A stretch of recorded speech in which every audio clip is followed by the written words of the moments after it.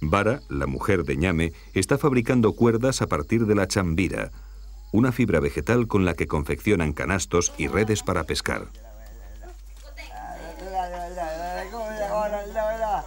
En la choza de al lado, Luana, la mujer de Gaya, prepara el tallabo, un tinte para teñir la chambira y que se obtiene machacando las hojas de un árbol al que llaman ñaña.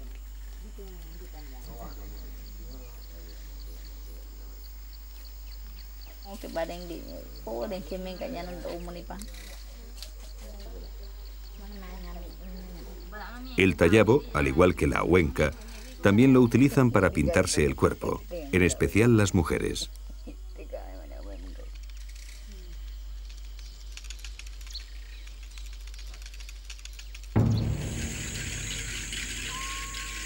Moy también desaprovechó su segunda oportunidad y los monos han conseguido escapar. Pero por suerte pronto encuentran a otro grupo y Ue, de nuevo, trata de distraerlos con su repertorio de sonidos.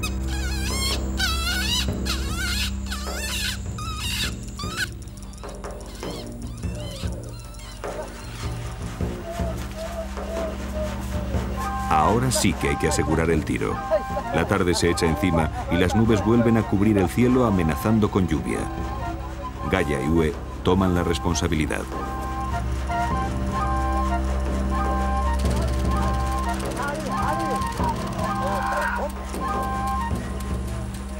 Cuando los Waorani tienen a una presa cerca, comienzan a moverse frenéticamente imitando los movimientos del animal, donde llegan a alcanzar una gran excitación.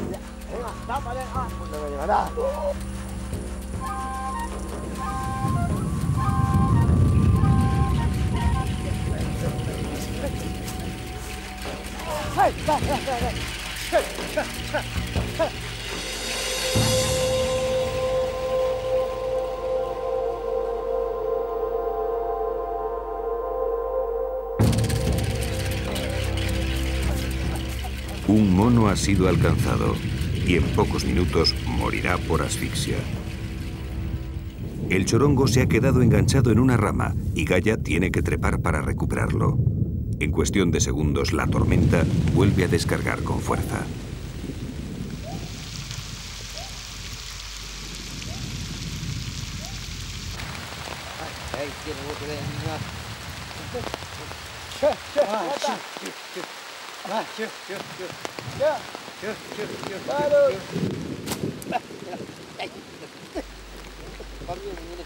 Gaia le lanza el mono a Ue, quien rápidamente lo prepara para su transporte. La lluvia arrecia y la noche está al caer. Aún les queda una buena caminata hasta Nenkipari, y ellos bien saben que caminar por la noche en la jungla puede resultar peligroso. Los Waorani consideran que el mejor momento para volver a casa es cuando las cigarras emiten sus ruidos al atardecer.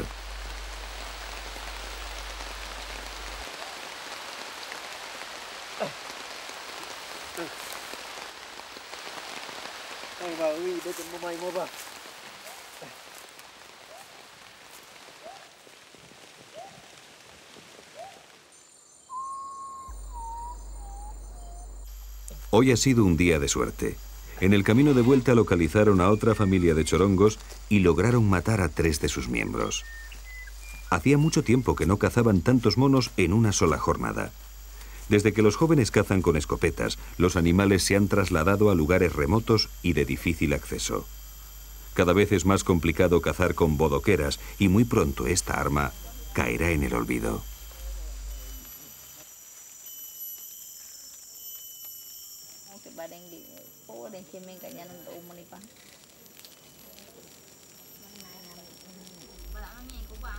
Cuando los cazadores llegan al poblado, tiran la caza al suelo, que pasa a ser propiedad de sus esposas.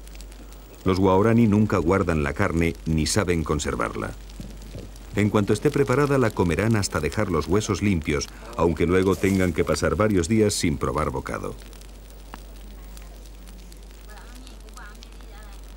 Las experiencias de caza inspiran muchas narraciones y conversaciones. Un cazador, cuando regresa de una cacería, es sujeto de examen por parte de toda la comunidad y su éxito o fracaso pronto se hace de dominio público.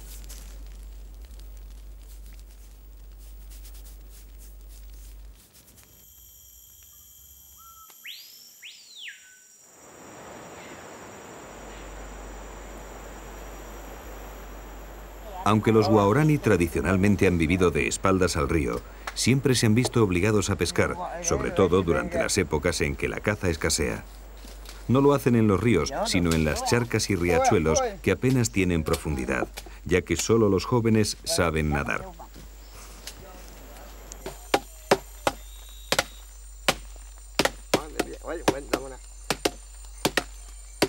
La técnica que utilizan es sencilla, pero muy productiva. Envenenar momentáneamente el agua. Para ello deben encontrar barbasco, una liana silvestre y no muy abundante que contiene unas sustancias tóxicas que eliminan el oxígeno del agua sin causar daño alguno al medio ambiente.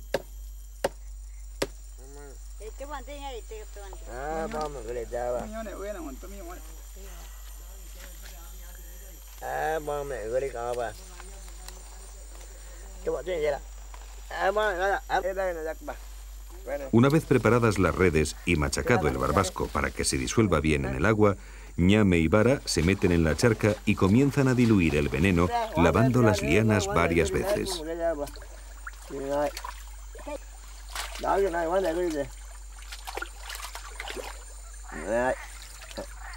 En pocos minutos, en lo que parecía una charca inmunda y sin vida, aparecen los pececillos.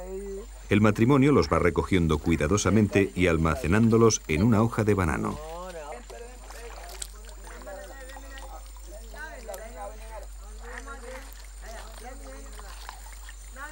Al igual que la caza, los guaorani también tienen sus creencias sobre la pesca.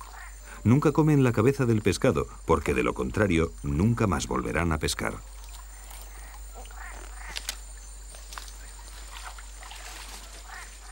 La pesca particularmente realizada en las charcas y riachuelos tan ricos en nutrientes y que transportan partículas aluviales de las pendientes andinas es una fuente de proteínas segura, pero ninguna sociedad amazónica basa la mayor parte de su subsistencia en el pescado.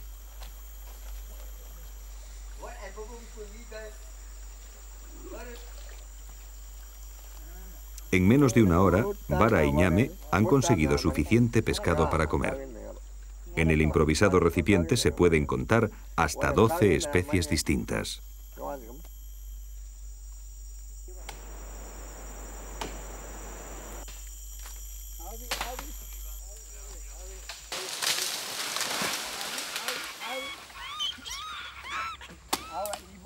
Mientras tanto, Ue y Kaya cortan árboles.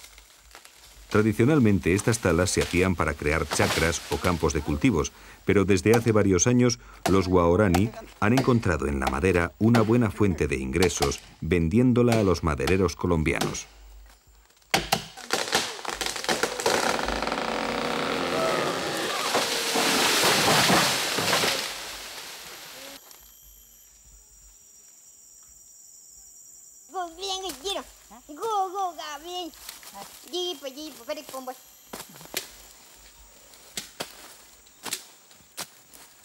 En la chacra, Vara cultiva yuca y plantas medicinales.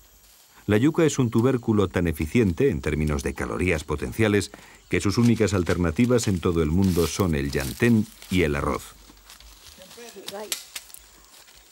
En la actualidad, menos del 1% de los grupos de la selva de América Latina obtienen la mayor parte de su alimento mediante la caza y la recolección, dependiendo exclusivamente de la agricultura para su supervivencia.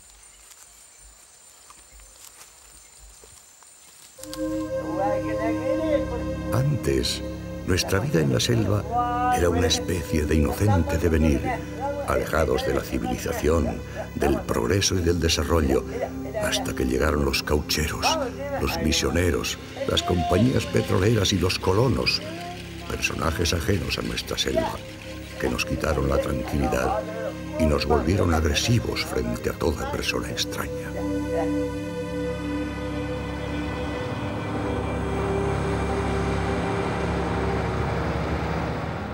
La decadencia del pueblo guaorani comenzó en 1967, cuando la compañía norteamericana Texaco perforó el primer pozo petrolífero. Desde entonces se han construido 22 estaciones de producción, 399 pozos y más de 500 kilómetros de oleoductos con un impacto medioambiental desolador.